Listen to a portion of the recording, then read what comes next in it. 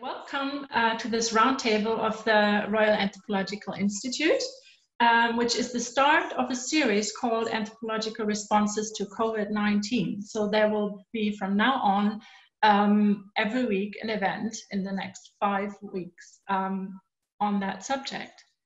Um, this is a bit of housekeeping just at the very start to get you all on the same page for this event. Um, we have two RAI staff here today. Um, that's my colleague Emma Ford, Hello, everybody. And that's me, Haneen Havik. And um, Emma is going to monitor the chat box. So if you have any practical questions, you can write them there. Um, anything that's unrelated to the subject of the, the webinar. Um, so all of you attendees, you will see uh, two buttons you can use. Um, one is the chat box, one is the Q&A box. If you're coming in on a laptop or phone, they should be at the bottom. If you're coming in on an uh, iPad or a tablet, they should be in the upper right-hand corner. And if you don't see them immediately, just hover over the area or use the cursor and they should uh, be visible then. Uh, so please use those. Um, so the chat will keep just for practical questions, technical questions.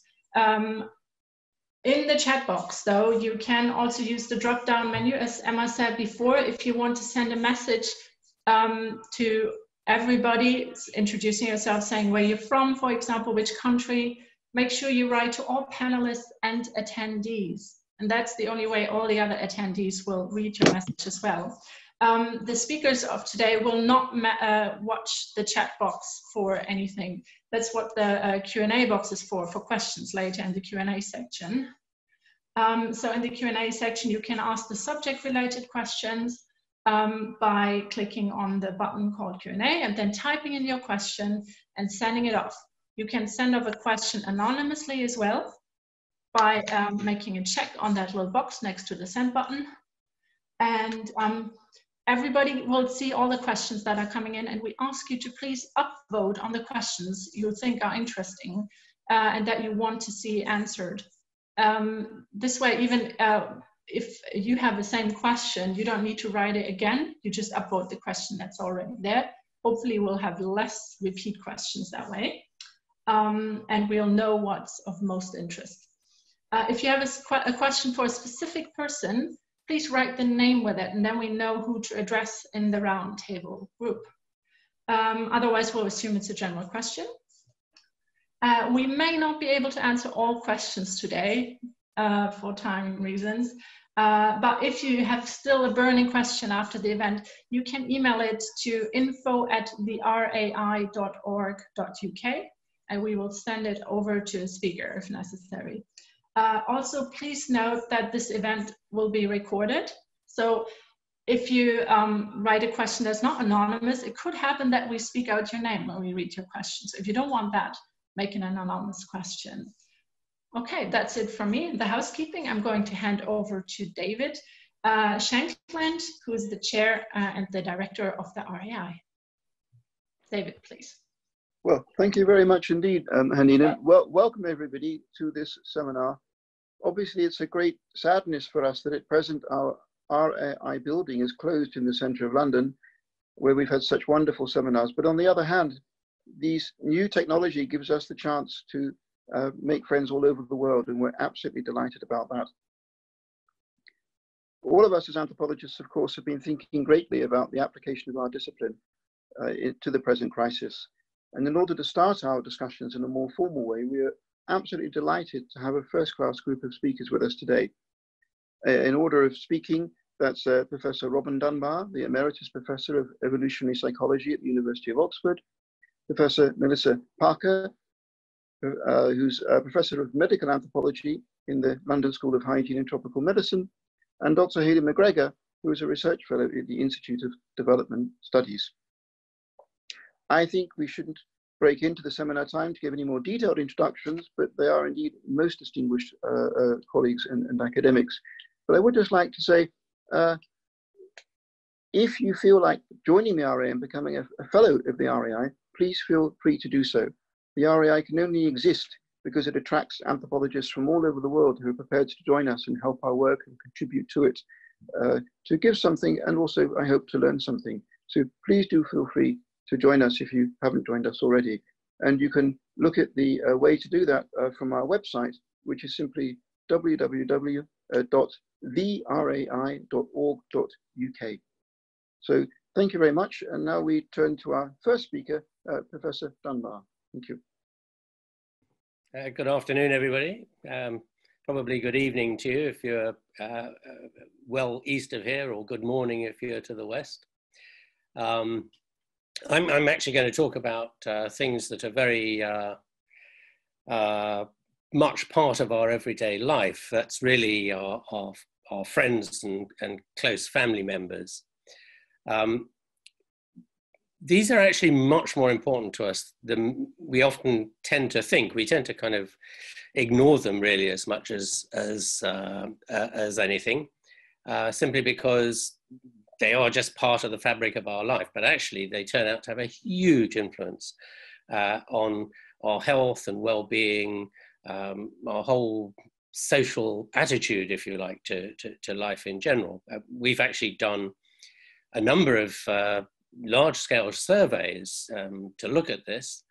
Um, one was looking at social uh, eating, how often people ate uh, socially um, at lunchtime or in the evening. One was looking at people's um, uh, drinking habits, how often they went to the pub with friends and so on. And one was looking at uh, how often they attended um, their respective religious establishments, how often they went to church or mosque or whatever it might be.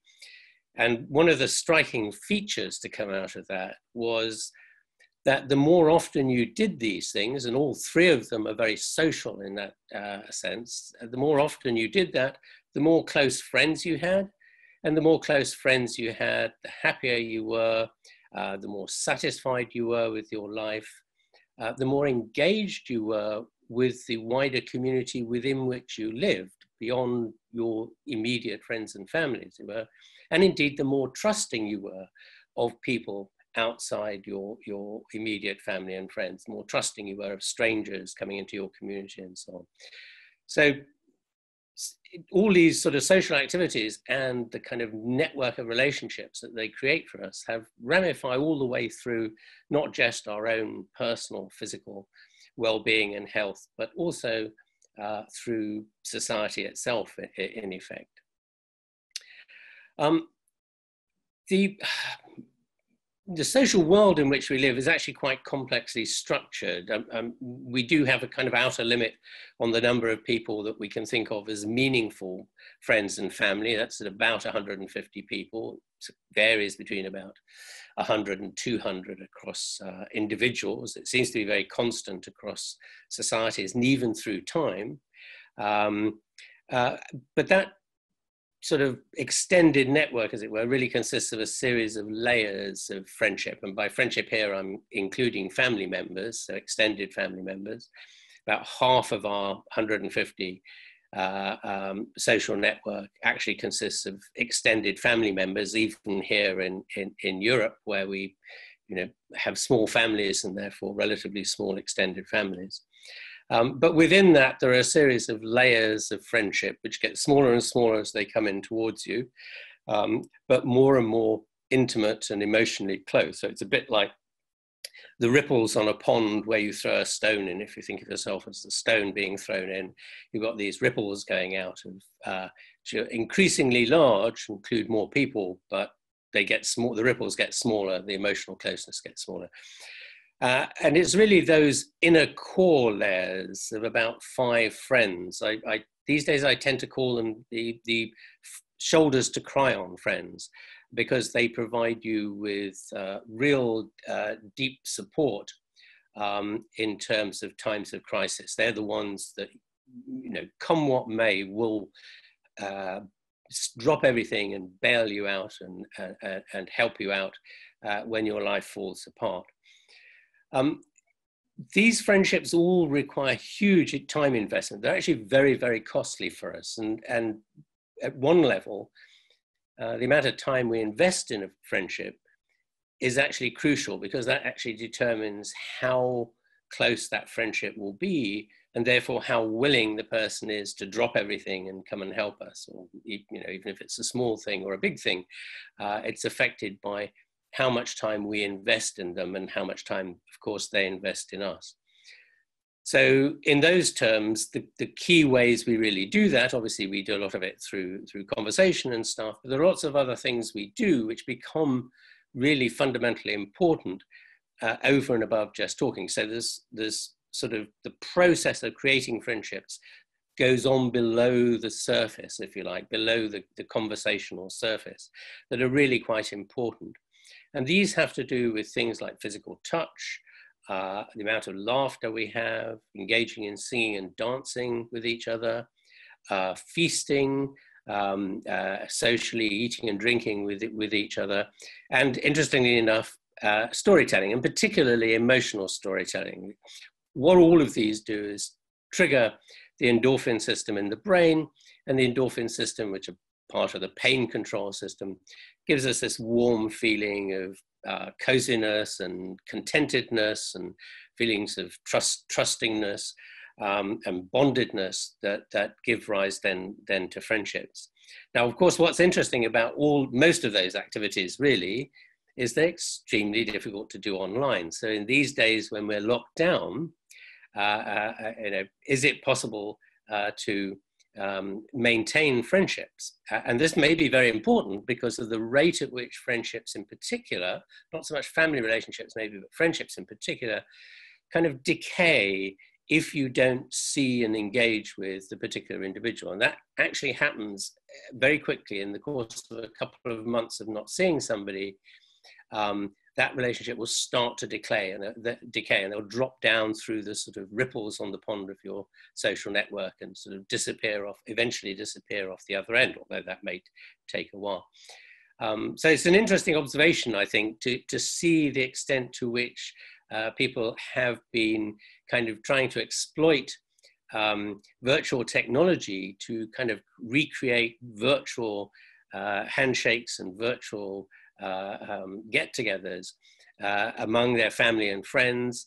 Uh, obviously, famously, people have been singing off their balconies. I mean, you know, clearly in Italy, uh, where they do proper singing, you can do kind of Verdi operas and things, and it's all absolutely spectacular and wonderful. Uh, but even here in Britain, people have been uh, sort of singing uh, folk songs and well-known songs uh, from from their from from their windows. Um, and that way, clearly, we can build up um, uh, relationships. But the, the key still is that's just with your neighbors and maybe not with your best friends and family who may be living away. Uh, and another thing I've noticed people doing a lot of is virtual dinners. So they'll have the, the, the, the, the same recipe, they'll all have cooked the same food, and they can sit down and, and um, uh, go through the meal uh, course by course with each other.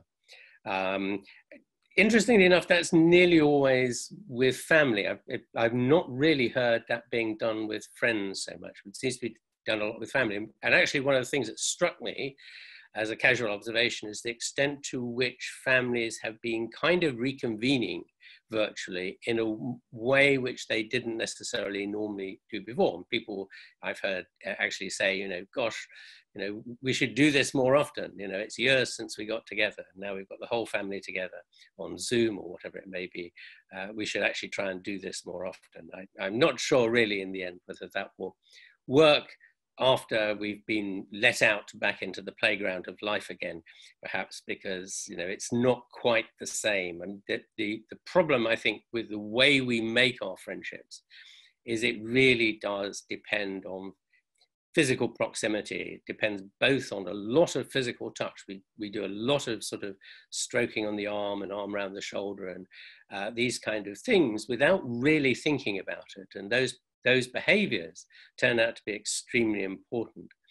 Um, and it's, it's, there's something about the immediacy of being able to stand in front of somebody and see the whites of their eyes, which seems to be very important. And we kind of pick this up in some of our research, which has been looking at how effective some of these different modes of communication actually are. And, and it's clear that there is nothing to replace face-to-face interactions. Uh, these kind of video-based um, uh, uh, uh interactions um, uh, on, in the digital world do surprisingly well, but still they leave a lot to be desired. I mean, they, they're clearly much, much better than things like um, uh, uh, text-based uh, media um, like like Facebook and messaging and, and, and, email and so on.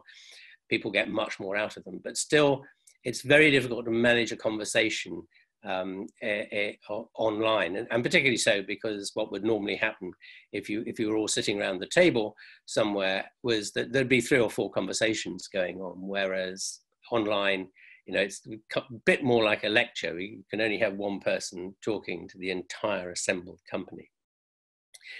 So the question is, I guess, uh, really just to sort of uh, bring this to a, a, a, conclusion, is what effect is uh, lockdown going to have on us and our relationships? I'm actually fairly upbeat about this because I think so long as it doesn't carry on for too long, then it really won't have that much effect. People will just you know get out and get on with life once again much as they did before. If it carried on for a very long time then i think uh, there would be um, start to be much more serious consequences. Um, i think we will see some changes uh, uh, or starting you know as soon as people uh, are allowed formally to reconvene again in public um, uh, one of those is simply a sudden upsurge in people contacting friends in particular, but also family probably, uh, to meet up with them. Because we've seen that going on even in telephone call databases when we've analyzed them, that if you haven't called somebody for a couple of weeks when you normally call them every other day, that next phone call is much, much longer, though you're kind of making up and, and, and not so much apologizing, but trying to sort of repair any cracks that might have might have occurred. I, I think there will be a slight uncertainty about, particularly among sort of medium level friendships, not your best friends, but among sort of the, the next layer out of friends, as to exactly where your relationship lies. has it changed actually in the meantime? Because it might have done because you've met some people in your road and spoken to them and developed a, a friendship with, with somebody nearer, and that, that's always a problem. But I think aside from that, probably the only um, uh, comment that I would make in these terms is simply that if you ask who is going to sort of experience this whole process as more taxing uh, psychologically and socially. I, aside from the older people who, who are already uh, uh, uh sort of a little isolated usually, um, probably the girls are going to ha have more trouble with it than the boys. And that's simply because it seems that women and girls relationships, friendships are much more intense uh, and, um, and in many ways fragile compared to those of boys. Boys seem to live in this kind of here today and gone tomorrow and out of sight, out of mind social world, I'm afraid. Uh, and so not being able to see your friends is, uh, well, you know, who cares? Whereas it's much more meaningful uh, for, for girls in particular. I think probably sort of younger teenage girls and, and uh, are going to be the ones that are going to experience this as the hardest thing to do. So that's all I'm going to say. I'm going to sort of hand the baton over at this point to Melissa and Hayley uh, to take the, the, the next part forward. Thank you, Robin.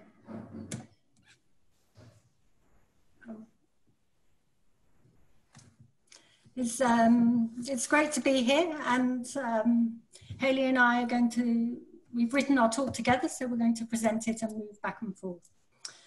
So our talk today pulls together some of the central issues emerging from ongoing research on several closely related projects.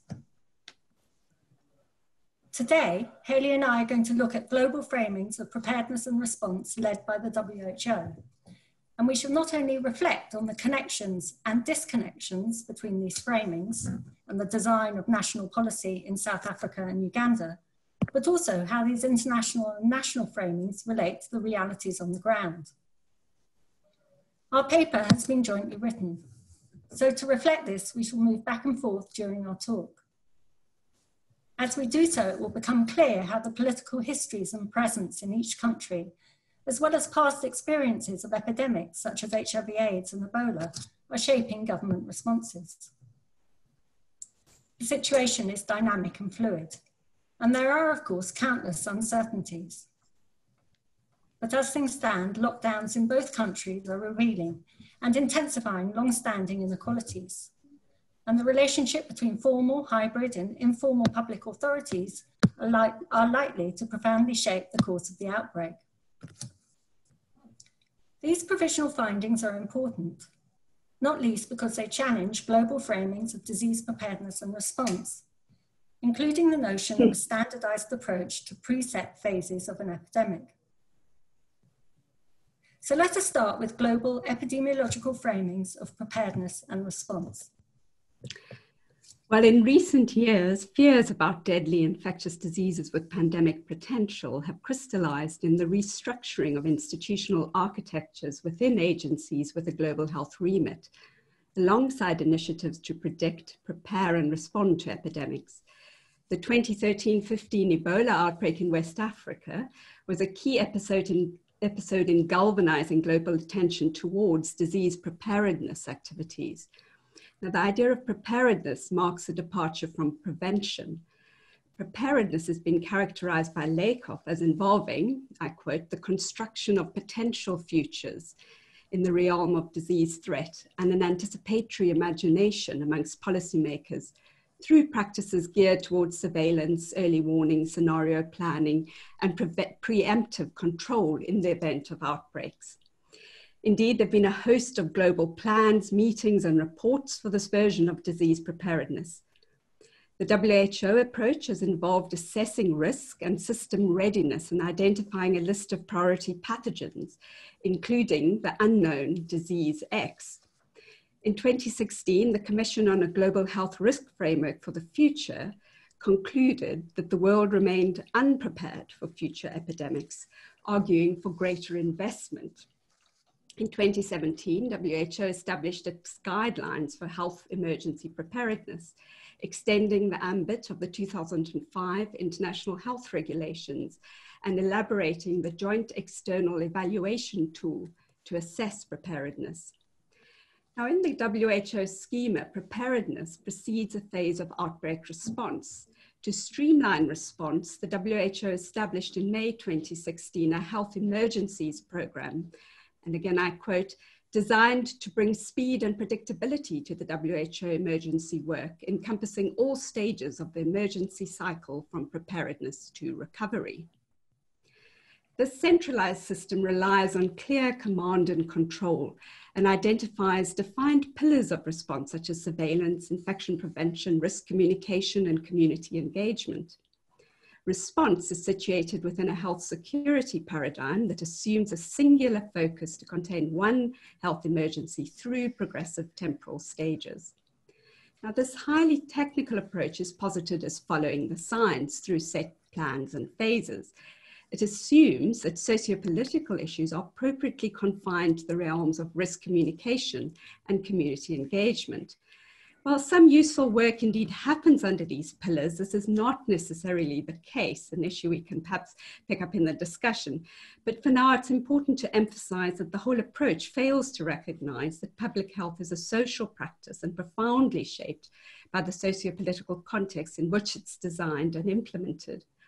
While many privately do acknowledge this, the nature of collaborations created by WHO require the development of a seemingly off the peg technical set of solutions.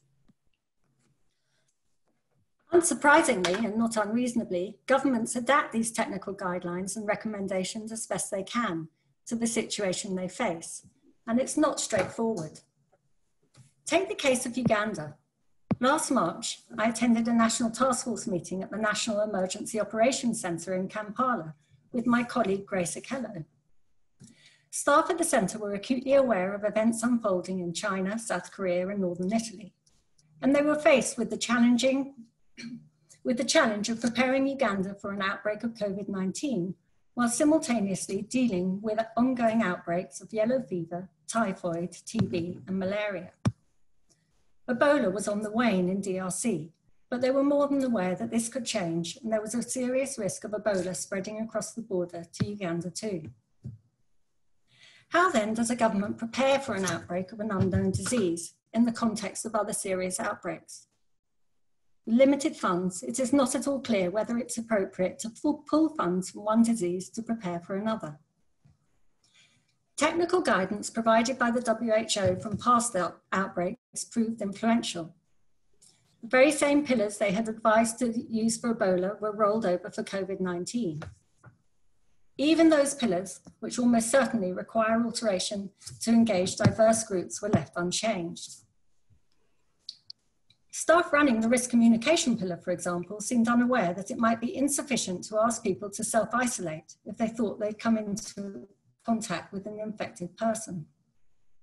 When we pointed out how crowded living spaces could be, with 12 or more people sharing a couple of rooms, the response was, then they should go and stay in a hotel. But it was not long before even these issues started to feel inconsequential. From the outside, it might look as if the Ugandan government was quick off the mark. This tweet by President Museveni, for example, conveys an acute awareness of the need to be prepared. Following a presidential address on March 18th, he closed schools, suspended markets and religious gatherings, and outbound travel to countries such as Italy, South Korea, and China were prohibited. Citizens returning to Uganda were placed in quarantine, and political rallies forbidden. And all this happened before Uganda registered its first case of COVID on March the 23rd. Additional decrees swiftly followed, including the suspension of all forms of public and private transport, and non-essential movement, even by foot, was discouraged. Crucially, power was taken away from the Emergency Operations Centre, and all decisions now have to be authorised by the Office of the Prime Minister, with a military figure heading operations. The overt militarisation has brutal dimensions. This picture was downloaded from the web and it was taken in Kampala, but it resonates with the reports sent by colleagues at research sites in Western, Northwestern, and Northern Uganda. At one field site, which lies on the Uganda DRC border, close to Kasese, women have been beaten for attempting to cross a river to cultivate their crops on land which is owned or rented on the DRC side of the border.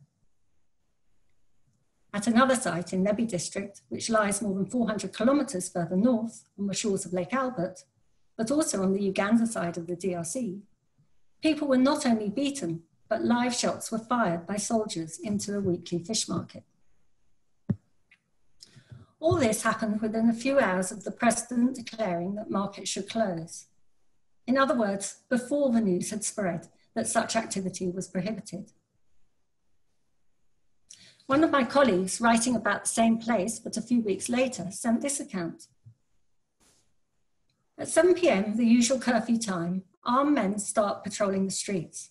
They normally whip whoever they find on the streets and then pound bicycles or boda bodas during curfew hours.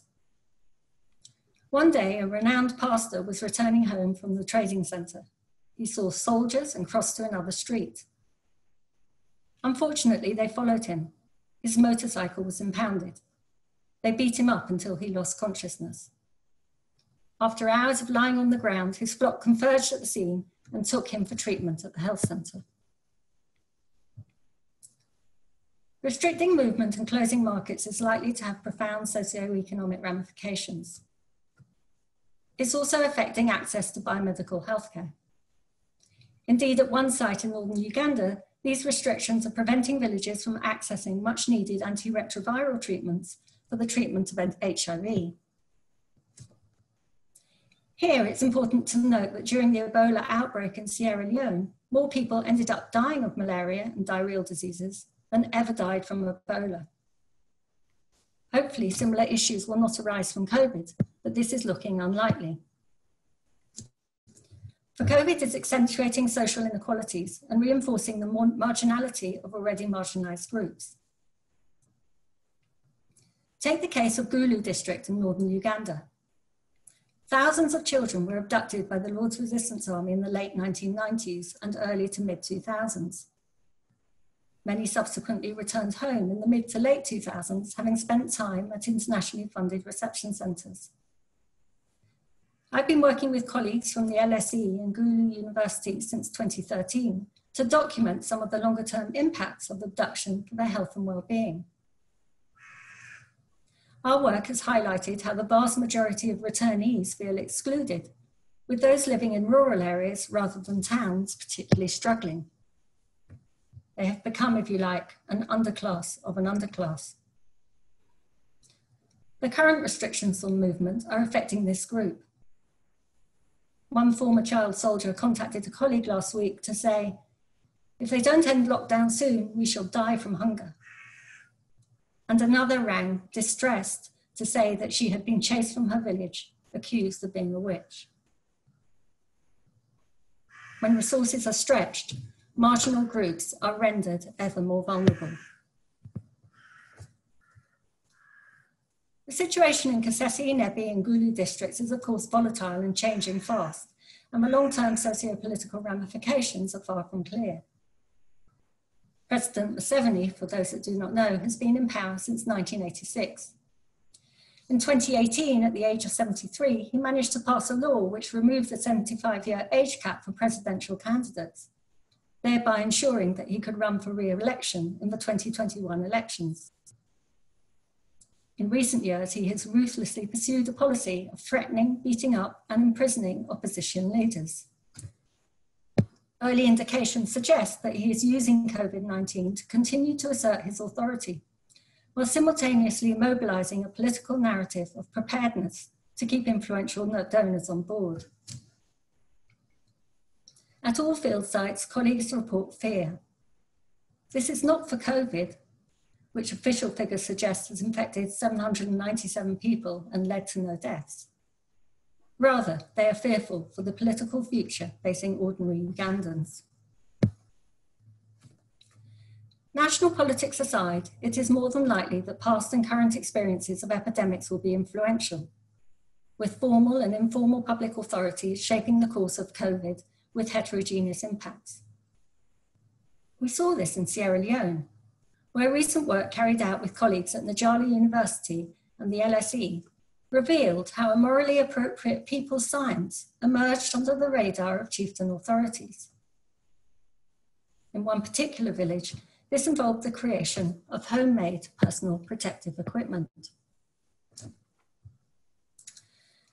The influence of formal and informal public authorities is starting to become evident in Kasese district, where latest accounts indicate that militia groups residing within the village are coordinating with those in DRC to resist the military presence. Connected to this, a spirit which lives in the river valley is terrifying the soldiers. To quote the words of a man living in the study village, the soldiers reported the threat of the voice of the spirit to their commander, who also went there to see what was happening. When night came, the spirit slapped the commander. This is when he decided that his soldiers should no longer watch the river beyond nine o'clock at night. Ongoing ex exploration of the relationship between militia groups, the local council representatives, and the army is clearly going to be important when it comes to understanding the future course of the outbreak. So let us now turn to the situation in South Africa. In early February, I was a delegate at the WHO R&D roadmap meeting when the disease caused by the novel coronavirus was named COVID-19. The focus was the identification of research priorities in the face of enormous scientific uncertainty. Africa CDC reported that only two laboratories on the continent had the expertise to identify the virus, one of these in South Africa. Shortly after the meeting, I went to South Africa where there was still little public concern. In an inversion of the usual outbreak narrative of pathogens emerging from Africa, people saw it as remote, affecting other continents. However, amongst policymakers, I detected concern. I was there for fieldwork on tuberculosis. A provincial head of infection prevention moved our meeting because she had, she had been told to get on the road to inspect clinics for COVID readiness. The newly received WHO guidelines were not, she told me, for developing country contexts. Apart from this challenge of adaptation, I sensed her discomfort at the call to shift attention. Her day to day brief is dominated by two chronic infectious diseases, TB and HIV. What would the implications be of diverting resources? In 2018, 63,000 people died of TB in South Africa, and it's the leading cause of death. There are 7 million people with HIV in a population of 59 million. Amongst health workers, I detected disquiet about emerging clinical data, worrying because of the long under recognized burden of non communicable disease in South Africa and neglect partly due to the prioritization of the HIV epidemic over two decades. But the bigger clinical unknown related to how severe COVID 19 would be in people with TB and poorly suppressed HIV. Beyond concern about these so called multi-morbidities loomed the plain fact of limited critical care capacity. Even in one of Africa's most resourced state health systems, the estimate in March was of 4,000 ventilators in the private health sector and only 2,000 in state facilities. In one of the most unequal countries in the world, the state health sector supports the majority of the population, but a much greater proportion of overall healthcare spending is in private. Plans to redress this through a national health insurance have faced a political battle. It was at a meeting in late February in the Department of Health that I heard that a man returning from Italy had tested positive in private as the first identified case. As anthropologists Manderson and Levine pointed out at the time, the virus would likely be brought into the country by wealthy citizens, but an epidemic would run along fault lines of inequality and hit the poorest, those in densely populated, low income, and informal urban areas, dogged by long standing structural violence, living under conditions that would make public health measures like hand washing and physical distancing a challenge to follow. As I left South Africa in March, a nurse in a clinic jokingly offered me a box of surgical masks since I would be returning to Europe. Yet by the 26th of March, March, with still only a handful of cases detected, South Africa initiated one of the most extreme lockdowns seen globally. A national state of disaster was declared with restrictions enforced by the army and police. A COVID command council was constituted closely linked to the presidency. President Ramaphosa justified the early lockdown with the now familiar epidemiological term, flatten the curve, to buy time to prepare the state health system and learn from the clinical experience elsewhere. Epidemic preparedness efforts turned to repurposing systems already in place for those old endemic epidemics of HIV and TB. An existing cadre of 30,000 community health workers was sent out to call people to test for the new virus and active case finding. This adherence to WHO advice drew praise from the head of the WHO Health Emergency Programme. Health activists who cut their teeth on HIV praised the rapid action and political will, a departure from the infamous delay by Mbeki to provide treatment for HIV. So, as a narrative of public health and political success gained steam, others speculated that a slow rise in cases could also be attributed to the persistence of apartheid geographies and social inequalities that separated wealthy travelers with access to private healthcare and poorer sectors of the population. But in tandem, concern mounted in April regarding the violent nature of the enforcement of lockdown, a further unwelcome reminder of apartheid. 11 black men are alleged to have died. There are anecdotal reports that people were afraid to be tested because of threats of enforced quarantine. Challenges mounted regarding the constitutional position of the National Command Council and the implications for governance and democracy. Crucially, uneven experience of economic suffering brought by lockdown rapidly exposed glaring social inequalities in terms of participation in the formal economy and the precarity of livelihoods, with the resultant vulnerability to indebtedness that the work of Deborah James has underscored and that intersects with kinship obligations. The lack of advanced planning to mitigate economic hardship as part of preparedness drew criticism for intensifying existing inequalities. Hunger emerged as a driving force against lockdown a government re relief grant was announced, and by mid May, 1 million people had applied. Finally, accounts emerged that lockdown was compromising other healthcare. A leading HIV physician reported that his patients were too afraid of the police to attend for routine monitoring and medication. In his words, the health sector was facing a collision of epidemics. Thus, South Africa reached a point of stark trade offs in the face of the economic hardship and legal challenges to government, restrictions were eased from the highest level on the 1st of May and then down again in early June. Cape Town has emerged as the epicenter of a surge of COVID cases in recent weeks. From afar, I've read reports from Khayelitsha in Cape Town, now declared a COVID hotspot, where I first did fieldwork in 2000 at the height of HIV mortality. that legacy seems to linger now in the fear of the new condition referred to as corona. Wearing the cloth face coverings that are required by law, people in an informal area have spoken to the media of the difficulties they face in reducing their risk of disease, the challenges of sharing a toilet and tap with other households, the difficulties of shielding when backyard tenants share the site. As one woman put it, at least with AIDS, you know how you get it. And inevitably, as cases surge, the resource limitations in the health service are showing. The state is being urged by activists to broker, broker a deal with private hospitals.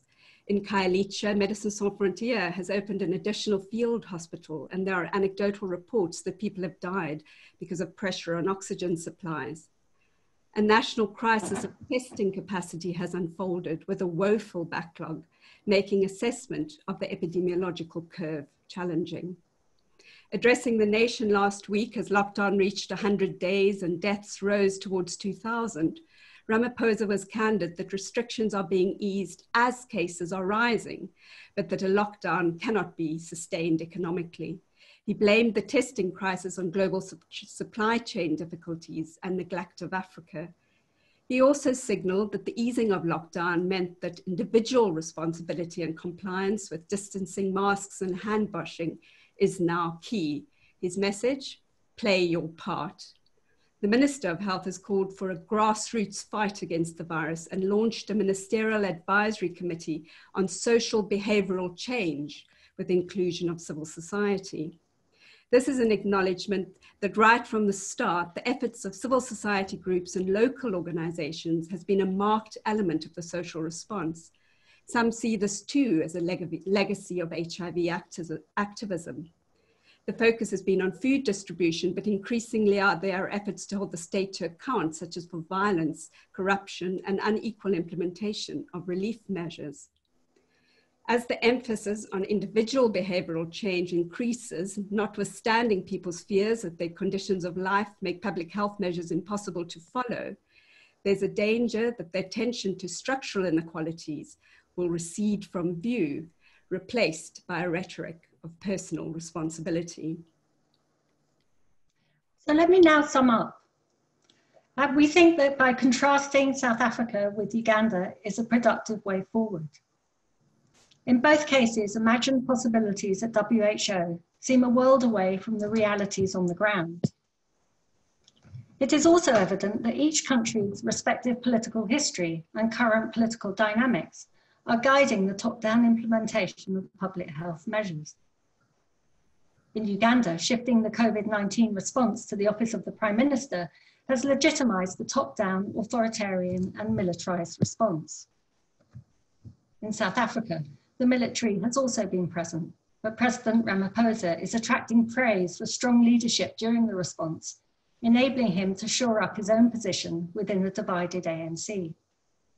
A mobilization of civil society to hold the state to account and to support social relief efforts has been reminiscent of AIDS activism.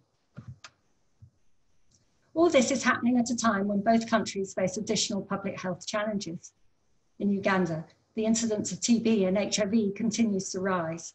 Outbreaks of typhoid and malaria are widespread, and Ebola remains a worrying presence in neighbouring DRC. In South Africa, TB and HIV are serious and burdensome, and these chronic epidemics coexist with other chronic conditions, notably diabetes and hypertension. While it's difficult to predict the extent to which COVID will accentuate these health challenges, there is little that the virus, it, there is little doubt that the virus is reinforcing existing inequalities. Paul Farmer, in his book Infections and Inequalities, detailed how diseases such as TB and HIV AIDS revealed social fault lines. Inequalities of outcome, he wrote, are by and large biological reflections of social fault lines. The situation is no different for COVID-19. Here, it's important to note that the capacity to respond is also shaped by an absolute lack of resources. In Uganda, there was no capacity to diagnose COVID in February 2020. By April, it was only possible at Uganda's Viral Research Institute in Entebbe. South Africa is better resourced, but insufficient COVID diagnostic tests are seriously hampering efforts to know the epidemic. For many, it's not possible to know if they have COVID or some other treatable condition like malaria or bacterial pneumonia. The combination of limited testing, a high burden of other diseases, and questions about protective factors such as demographics contributes to ongoing uncertainties about local epidemiological realities. However, almost certainly, COVID will have very different impacts, with political economies and formal and informal public authorities shaping the course of the outbreak.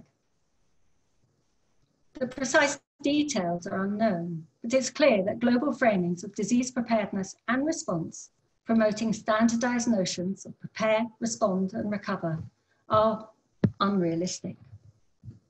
They are neither neutral nor scientific, and they have emerged and been shaped by wider social and political processes.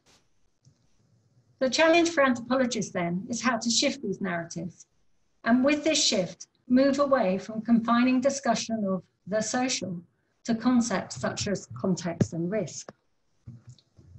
Crucially, we need to find new ways to move ahead from siloed vertical responses shaped by broader global security framings in such a way as to accommodate local realities and experiences of outbreaks and the uncertainties and complexities of social life. We very much welcome your suggestions about how to do this. Well, thank you very much. That's that's absolutely splendid. really has taken us uh, to think both about intimate uh, family relations and the whole situation more internationally. Well, I've been asked to open up with a very specific question uh, on, on, behalf of, of, of, our policy committee, which is whether the panel could start, please, by simply reflecting on how anthropologists can contribute toward and perhaps even influence public policy uh, during a time such as this COVID-19 um, uh, uh, crisis. We should probably just go in order of the speakers, but of course the answers should not be over long but just give us a nice quick solution to this question, please. Uh, over to you, Robin. I think I'm just simply going to say, uh, for heaven's sakes, pay more attention to real people out there. a lot of this stuff is done at very high level that, that influences uh, what governments do, which is fine, you know, all the modeling and that kind of stuff. But actually, I don't think they probably really have enough um, input from people who work at the coalface of where you know where real people actually live, if you like. That's. I'll I'll pass on to the experts in in this this area at this point. I mean, um, David, the, it's obviously a hugely complex question, and multiple PhDs and books can be written about it, and so there is no simple answer. Um, but there are some things we can say which are productive. And I think one thing is where anthropologists, just picking up on Robin's point, where anthropologists are looked to for advice about their knowledge and understanding of what's happening at these very local kind of granular levels and given the opportunity to speak about how policies might be adapted or amended or shaped in light of the specificities on the ground, things can be move forward in a very productive way. And there's some fairly good concrete examples of that out there in the literature in relation to a whole host of, you know, different kinds of health issues, not just outbreaks and epidemics. Um, and I think actually, like there's a lot of movement there. It would have been nice in a UK context to see more anthropological, you know, more policymakers kind of looking to anthropologists for assistance and guidance, but there are also examples, even within the UK, of where that has worked and it's worked very well. So I think overall, you know, the trajectory is right. It just needs to happen at a faster pace. Mm. I'm sure you. you want to add to that, Hayley. Yes, go ahead. I would agree with that. I mean, I think, you know, one always works, walks a fine line in this kind of space because there's a very real danger of, of the sort of instrumentalization of one's inputs and and you know them being sort of shoehorned into these ideas such as risk communication and community engagement. And indeed even you know quite often anthropologists are seen as kind of adding context. And and even there it's quite easy for one's inputs then to be turned towards this kind of quite narrow behavioral change framework. So it's certainly not easy, but I agree with Melissa, there is movement. I think just in my engagement now with the WHO um, process around COVID, I guess there's been another issue that's sort of emerged is particularly with guideline development is the um, a lot of emphasis the whole framework there is evidence-based best practice so for example um, being involved in something like guidance for home care for COVID-19 when really hits this idea that it's very difficult to really take on board the pragmatic realities um, in which people will be caring for COVID-19, indeed for more severe disease. And when, when hits this idea of sort of standard of care, and it's very difficult to actually talk about the pragmatics of care, how people actually improvise, for example, with PPE in the slide that, that Melissa showed. So I think even though there's a lot of acknowledgement in private around the sort of complexity of, of social life and so forth, it's often quite difficult to really shift things, yeah. Yes, I understand. There, there are several questions for Robin, but could I just have a clarification, please, um, from um, Melissa and Hayley? If I understand your talk correctly, if you had been advising the WHO vis-a-vis South Africa and Uganda, would you have simply said, whatever you do, don't do the lockdown? This will cause a disaster to both your countries. Have I understood your message correctly? you want me to come in, Melissa? yeah, but I, I, I, know you want to push me to, to make a simple answer, and I don't think it is simple, really.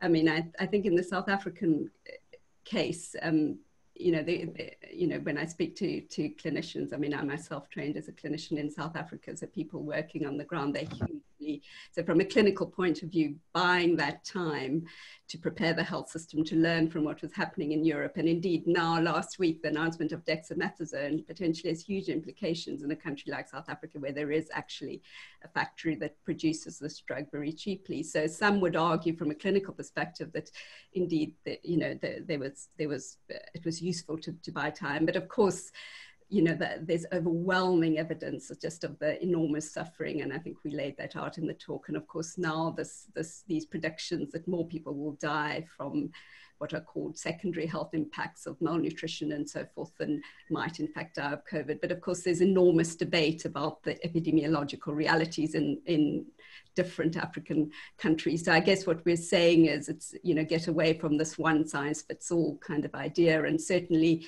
towards looking to you know, for sort of future debates about preparedness and response, how can one have proportionate measures rather than these kind of blunderbuss approaches like these extreme lockdowns that will certainly has been seen in South Africa? Yes, yes, thank you. And did you want to comment on that one, Melissa? Well, I mean, um, I guess everything that's happening in Uganda, I mean, it's obviously a very different situation to South Africa. I think one could have made us quite a strong case for the initial closure of international borders uh, and very specific measures which would have sort of restricted movement. But the sort of uh, ferocious militarized response, I think, is counterproductive, uh, creating all sorts of additional health challenges, creating all sorts of tensions, and you know, fueling violence in all sorts of ways in the longer term. So the current implementation is uh, leaves a, a, huge amount to be desi- desired. Yeah. Yes, thank you. Indeed, there's a comment from from a from, from a, a, a, person who lives in the area, uh, Kahinda, and he says that more people have died in Nigeria from other diseases than have died from COVID-19 because of the shift in resources. Um, well, there we are. We'll come back to these issues, but but um, uh, Robin, with regard to with regard to your um, uh, talk, there's a question which has come right to the top of the pile, which is which is um, how can you possibly acquaint your your approach with with, with cross cultural variation? Um, uh, what kind of methods enable you to talk with such confidence in this generalized way? Um, a, a, very good question, actually. Um, I, I, in reality, I mean, a lot of this stuff has been done cross-culturally. I mean, I'll just give one example. Uh, um, I mean, there was one question asking how, how we actually do this kind of research. Well, one way of doing it is to watch what people actually do um, out there, if you like, in a sort of tried and tested field observers, anthropological fashion, ethnographic fashion. Uh, and indeed, we've done those kind of studies. But the, the uh, one example I was going to mention, um, we were interested in for other reasons, really, where people uh, touch each other and allow uh, others to touch them, um, really in relation to the quality and nearness and type of, of relationship. So we asked large numbers of people to sort of color in a map of the body front and back as to where these things were possible. And it was done over, I think, five European countries, Finland in the north to Italy in the south, Britain in the west to Russia in the east, plus Japan, being as various people asked about Japan. And yeah, there are little differences here and there uh, between the different cultures, even within Europe. Um, interestingly, um, in, in, answer to, to, to, the specific questions being asked about Japan, uh, the Japanese were much closer to, to, to, to, the British than to any other European country. Uh, uh, uh something I've always felt to be the case ever since I first went to Japan. There's something about island nations or something um, uh, that makes them sort of uh, peculiar in that way. Um, uh, but everybody was pretty much the same. You know, the, the kind of rules that regulate where you allow somebody to touch you or where you're comfortable being touched by people really depended on how close the relationship is. And, and, and sort of strangers, it's all at arm's length, you know, hands only, which is presumably why we shake hands with strangers rather than, well, maybe if you're Italian, you throw your arms around them and give them a couple of air kisses or something. But certainly in Britain, heaven forbid, we, we politely shake hands with them. So, so I, I would say that's very cross-cultural, and I, I, kind of am always inclined to point out, really, at, at this point, that I'm the product of uh, uh, uh, of a multicultural environment. I'm, I'm, bilingual in a Bantu language and I'm tricultural from growing up in Africa. Deeply immersed in three cultures as well.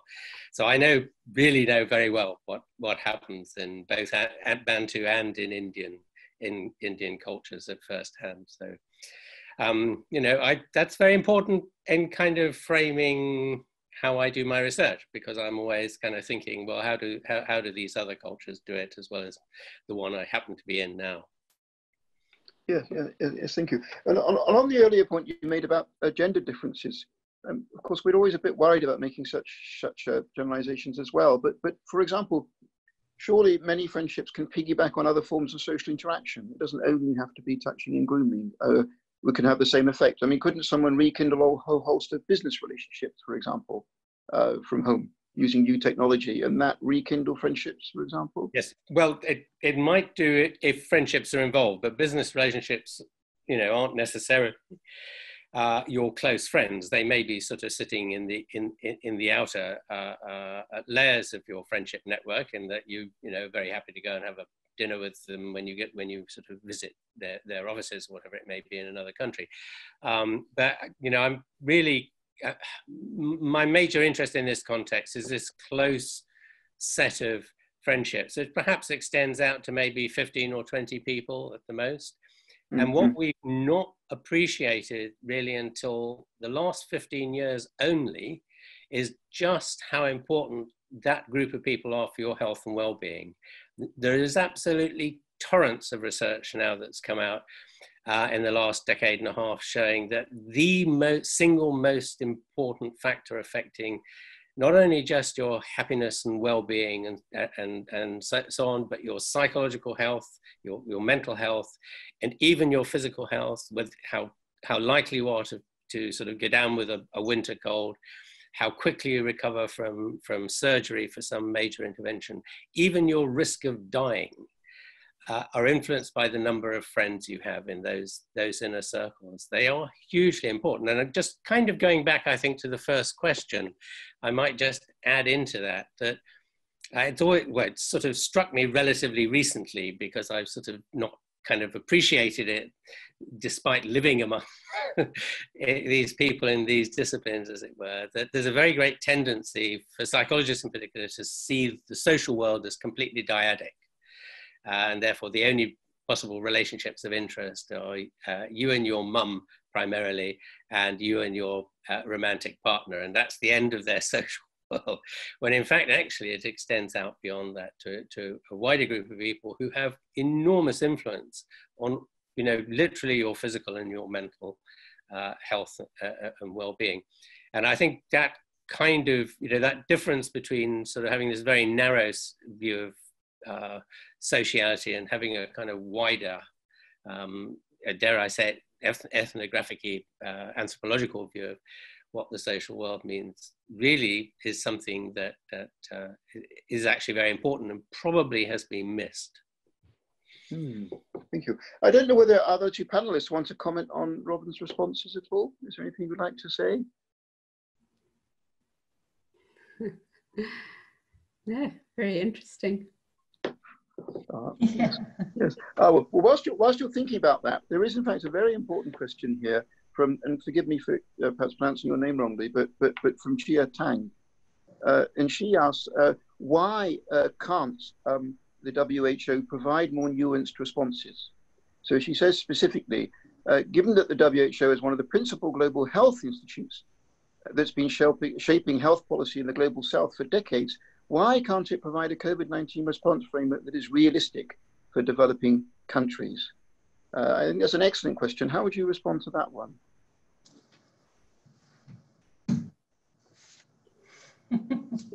this is indeed an excellent question. um, I mean, I think it's, you know, the WHO, there are many diverse people and diverse groups, and it doesn't necessarily speak, you know, people have very diverse views within the institution. So it's not that everyone within the institution would take the view that the creation of these technical guidelines is the sort of be all and end all and that they must be followed by rote. There's all sorts of critics within the institution who would like to see something a bit more flexible. But there's a broader kind of politics at stake, I guess, which kind of constrains what is possible, what is viable, um, which is perhaps less obvious or overt to those watching on. But we definitely saw it during the Ebola outbreak in um, West Africa, in which there was again a very uh, global militarized response, if you like, which was sort of reinforced by at a country level by the military um, and very much sort of shaped by a wider sort of global biopolitics about how different lives matter. Uh, and it was much more about protecting, you know, Western Europe and America from Ebola than it was ever about trying to engage and, and really um, protect the lives of people sort of at the sharp end in West Africa. And it took a long time before that started to shift. Uh, hmm. So that that is part of it. But Hayley, you've had sort of more recent engagement with WHO. There are many other things. Do you want to chip in? Hmm. I think it's interesting to watch how you know this whole global, the sort of pandemic experience of COVID nineteen, is is generating a lot of debate about. You know, yeah. there's increasing recognition that preparedness and response are indeed also political processes. So I think it's interesting I think they, they, there is an, an, increasing recognition that you know one cannot just have these sort of neutral, this idea of these neutral scientific phases and, and processes. I mean, I think with respect to to guidelines and, and nuanced responses, and another thing that's quite interesting to see is is uh, you know a lot of discussion now about um, you know sort of the future going forward, and on the one hand there's definitely, uh, you know, people sort of praising what happened in Asian countries, so sort of calling for more of that kind of top down, you know, the pillars, more case detection, more surveillance. But then there, there are also other voices, which I, I think are louder than I've heard before around questions around localization, adaptation. And I guess WHO always has this narrative that they coordinate. And I think increasingly, certainly, um, in listening also to the other humanitarian actors or the bilateral donors, there's there's a lot more about talking about who are the other actors involved, you know, and this this whole discourse of, of localization is quite interesting. And I think, um, you know, maybe an acknowledgement that these local social responses are also important and, and sort of how does one, one also support those and can that help to have a more proportionate response? And indeed, I think more discussion of these questions of social justice because they've just become so glaring, um, particularly in, in the context such as those that Melissa and I were, were discussing. So I, I think I think that's partly what stimulated us to write this paper because I think this is an interesting moment to to reflect on on where the future might what the future might hold and and certainly it's I think it's a, a lot is up in the air right now.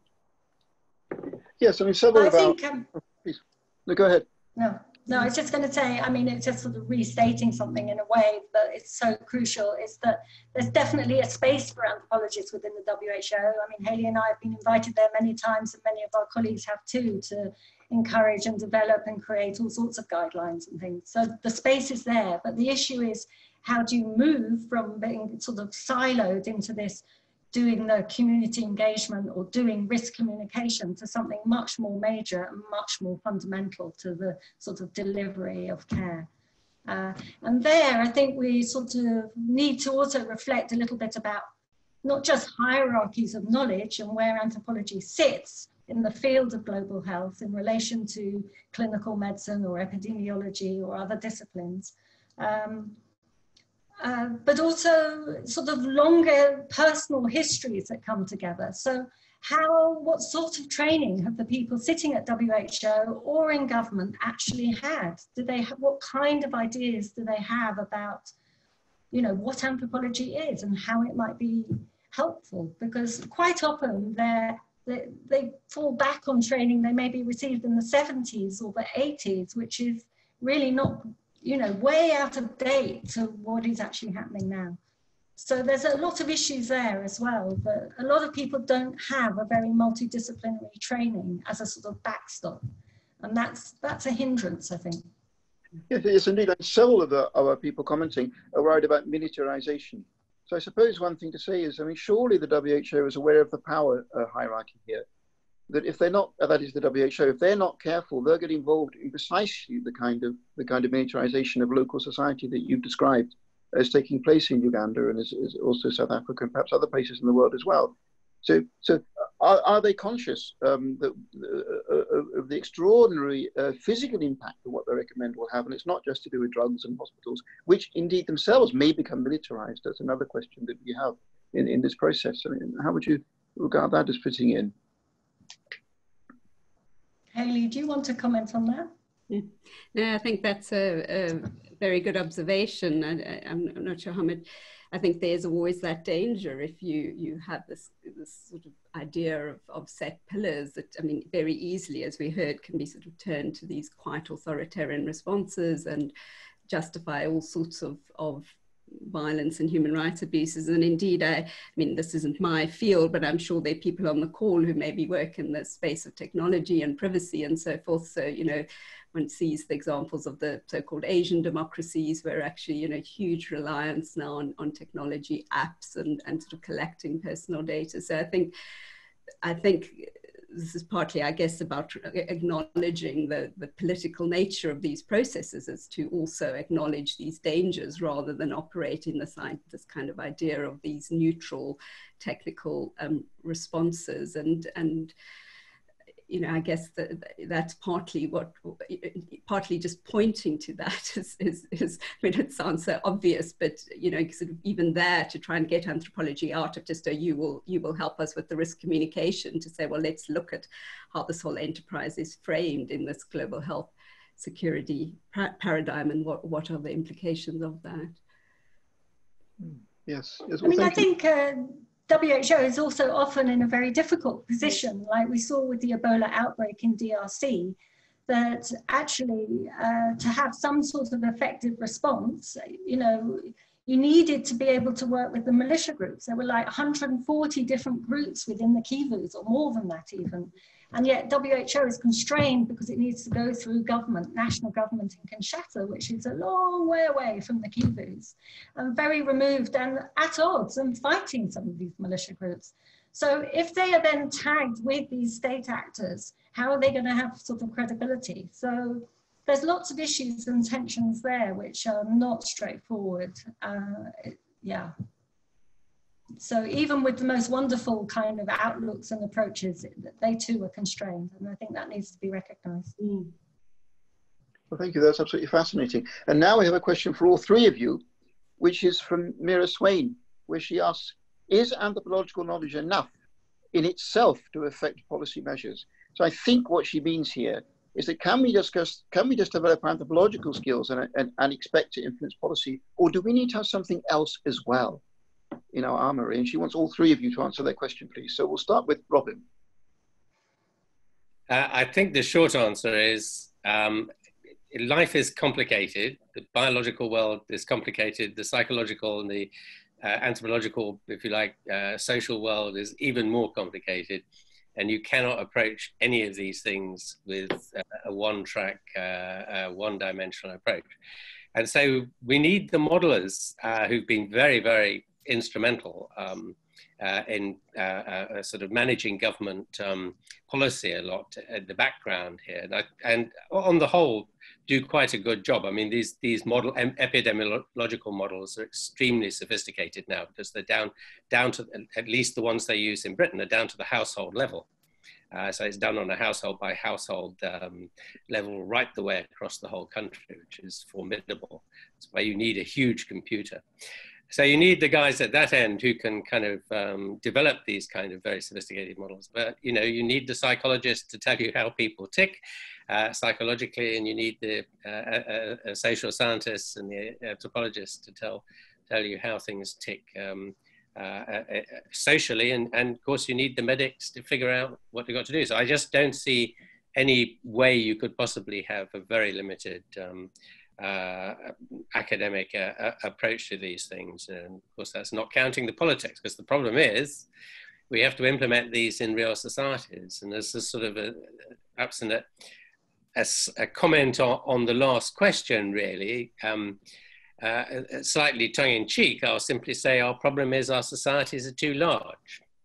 And it's time we went back to small scale local societies. And then it would be much easier to implement a lot of these things. But once the, you know, your, your, the size of your country gets very large geographically and uh, numerically, it becomes increasingly difficult to persuade everybody to toe the, the same line. And, and you know, it, you're kind of forced down the route uh, of, of, imposing your will as a government on, on, on the people at large, militarily or, or otherwise. Thank you. What, what, what, do you think, Melissa, about whether or not we need more skills than just being anthropologists, or, or how would we approach thinking about that? Well, the short answer is yes. um, I think anthropologists need to be open minded. They absolutely don't have a monopoly of insight, uh, but they ought to be central players at the table. And I think uh, in global health, we need to, with our open mindedness, seek new ways to integrate insights from the biological and the social sciences, rounding that in an understanding of political economy. And you could argue that to some degree, that's what biosocial anthropology attempts to do, actually. Um, and we have a whole new committee that will hopefully be opening up to engage with those issues. Um, so yeah, but that in and of itself is actually requires working with multiple, very different kinds of web methods and, you know, in a very engaging with multiple disciplines. Yes, I mean, partly what you said, it strikes me, is that we also need a very deep knowledge of the countries that we claim to be talking about. Yes, of course. Yeah. Which yeah. is in itself uh, slightly different from just pure anthropological theory. Um, but what do you think, Hayley? I would agree completely. I mean, I think, um, I mean, interesting the way the question is phrased is, is almost implying, do we need a range of skills? Personally, which I guess is a, is a different question, or maybe what Melissa was talking about. But I think certainly, as we all know, and I would agree, there's been a lot of comment on the composition of these scientific advisory groups. I, I know people have also felt that you know the social sciences have been predominantly represented by behavioral scientists, but I think that has has shifted. Um, with time as the epidemics unfolded. I mean, uh, and I think perhaps the crucial thing is that if we engage in those spaces as, as anthropologists, we really have to learn how to communicate the value of anthropology because I think that is, is sometimes not always understood and we, and we can't, as Melissa said, just assume we, we have a monopoly of insight. We have to, just as other, in those spaces, everybody has to be respectful of the important contribution of others. I mean, that's stating the obvious. Yes, yes, thank you. I sometimes wonder whether we shouldn't all go off and become, I don't know, politicians or do something else completely different and then come back into an, an, an, anthropology again. Um, but look, um, Robin, you, have touched on this, but we have a very detailed question here from Barbara um, Pieter, um, who really wants to, as it were, I suppose, challenge a bit here. She says um, that, that her, her hypothesis is that the precarious status of people, such as young researchers, has already pushed them into developing new ways of nurturing remote but dear friendships. So therefore, the precariat of today has already developed friendships in which physical proximity of the body rarely materializes. Nevertheless, they can be a source of deep care, emotional closeness, and practical help in need. So I don't know uh, whether you think that you could reply to that. yep, uh, that's that's um, a question that's uh, frequently asked. Uh, I, I, think is the answer, uh, and the answer, of course, um, yes, this is perfectly true. Uh, you know, there is no question that you can do a lot of these things online using digital media. You know, that is why Facebook in particular is as successful as it is. Um, it does allow people to engage.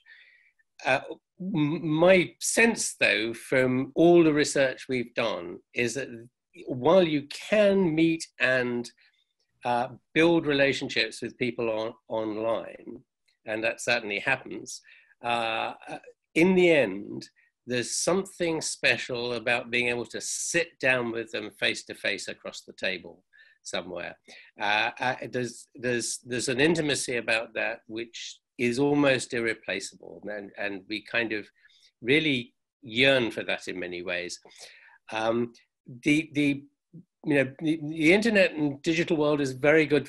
The way I uh, be, come to see it, put it this, this way, is that the digital world is very good for keeping a relationship ticking over um, uh, and stopping its decay, or at least slowing down its rate of decay. But that actually, in the end, nothing is going to stop a relationship drifting down from probably not your best friend, but certainly at one point in your life a good friend, gradually sort of drifting down through the layers and becoming just an acquaintance or somebody I once knew.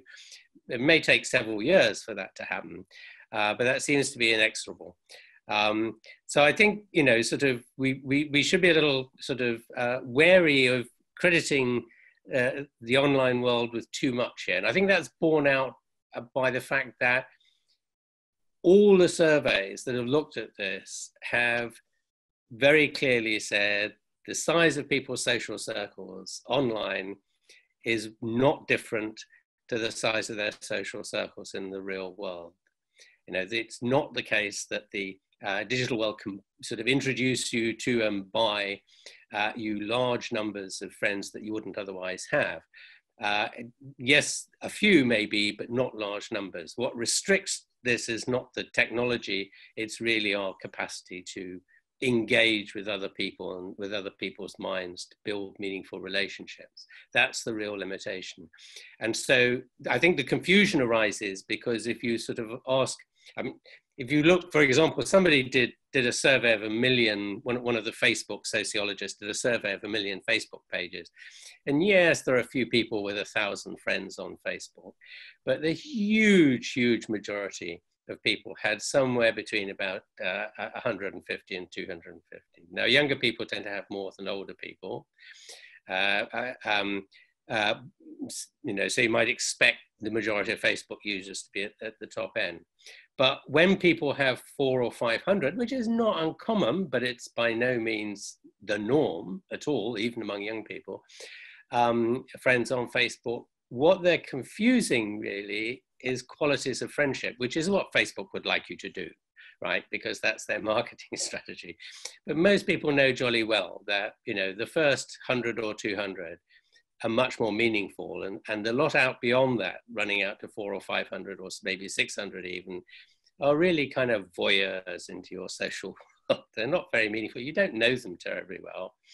Um, and uh, just as an anecdote on, on this, I, I, once had an interview with a Swedish, young Swedish TV host who, who, for the purpose of his sort of TV program, was going all around Europe, uh, meeting physically all the people on his uh, Facebook page, literally everybody, all, all 5,000 or something he had, uh, in order to challenge my claim that you can only have 150 friends. And uh, I, I, did warn him that, that this was, you know, not going to work and he very uh, um, um, uh, uh, shamefacedly, as it were, when he did presented his results on his TV program said that actually I was right because he turned up at people's weddings with a, a TV crew whom he didn't know. They were just random people and practically got thrown out of the, the venue and things like that. He said, really, the people who welcomed me in were my, you know, 150 friends. So I think there's a, it's very easy to confuse having a lot of apparent friends on Facebook and with the quality of the relationship you have with them. What this is about is the quality of the relationship. Hmm. Yes, I see. Well, there's just five minutes left. And why don't we sort of go back to the to the beginning again and, and, and go around once more? And now we've had our discussion. Uh, we, we, as anthropologists, we all want to, to, to, to make a public contribution. I mean, otherwise we'd have gone and done something else, presumably. So what are your collective thoughts, perhaps to, to people both be, at the beginning of their careers, in the middle of their careers, towards the end of their careers? Uh, how can they best make a public con contribution? And inter alia, there's a, a question here that says, should we all develop and become digital anthropologists? Is that something we can do rather than fighting to get a position in, in, some, in some very select committee somewhere? So perhaps you'd like to give us, uh, each of you, some closing advice about how we should shape our careers in the next few years. Shall we go in reverse order because I used up all my all my time? And all right, we'll go, we'll go I think that's order. an excellent idea. yes, right, Hayley, you start then, and we'll go backwards. Oh my goodness.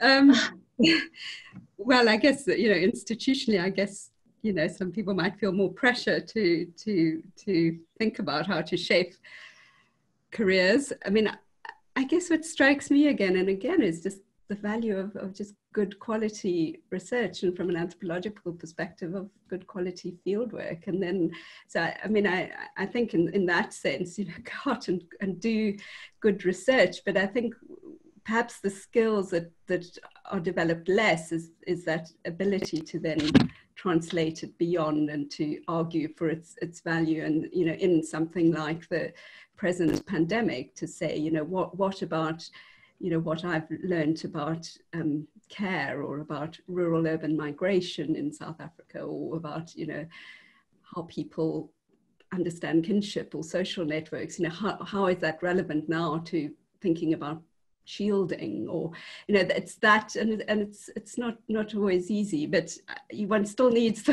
one still needs quality ethnographic research to and, and particularly because as melissa said you know when one goes to who there's a there's a particular hierarchy of knowledge. It's the evidence-based medicine paradigm. So so it's hard to argue for the value of a, of a what they would say is a, a qualitative uh, method. So so one really needs to be able to come with good solid ethnography and argue for the value of that to make that step to translate it.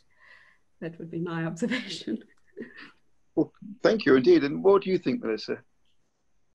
Well, uh, I completely agree with Hayley, of course. Uh, nothing beats high quality research. One should never forget the bubbles that we all live in, actually, uh, but particularly the bubbles that policymakers live in. They often would love to know a world beyond their work and their uh, immediate home, and they have no time, no space, no means to do so. So, actually, coming forward with that high quality research is typically very welcome. So, I guess for younger researchers, I would say don't be shy to put yourselves forward. Don't be shy to contact people. You would be amazed at how much people want to know what's really happening. Hmm. They may not be able to do very much, they may be very constrained, they're not going to forget and they'll come back to it at that moment when they think that they can actually sort of work with it in a productive way. Um, and the other thing I would say is um, one's in a much better position than people imagine if you're in a higher education institution, because with that becomes independence and you have the possibility to say to say it how it is and to walk away and for your livelihood not to be threatened. So often it's easier to have an impact in academia actually than it is within the institutions which are trying to write this policy. So be anthropologists and get stuck in. Hmm. Well, thank you. That's, that's, that's great. Uh, Robin, what do you think? Uh, I think I, I, will just make three points actually.